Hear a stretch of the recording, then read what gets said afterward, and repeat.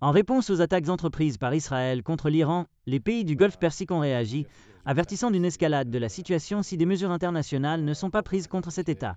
Le Royaume d'Arabie saoudite exprime sa condamnation et dénonce les attaques israéliennes et souligne sa position claire concernant l'opposition à l'escalade du conflit dans la région qui menace la sécurité et la stabilité des États et des peuples au Moyen-Orient, a écrit le ministère saoudien des Affaires étrangères sur X, appelant la communauté internationale et les parties influentes à assumer leur rôle et responsabilités pour réduire l'escalade et mettre fin au conflit dans la région. Le Qatar a également rejoint la réponse. Ce pays est en train de médiatiser pour établir un cessez-le-feu entre le Hamas et Israël. Préoccupation profonde concernant les conséquences graves que cette escalade pourrait produire, a écrit le ministère des Affaires étrangères du Qatar.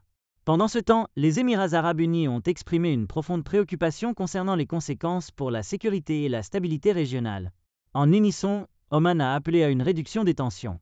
Le ministère des Affaires étrangères du Koweït a également condamné l'attaque et accusé Israël de mettre en danger la sécurité dans la région.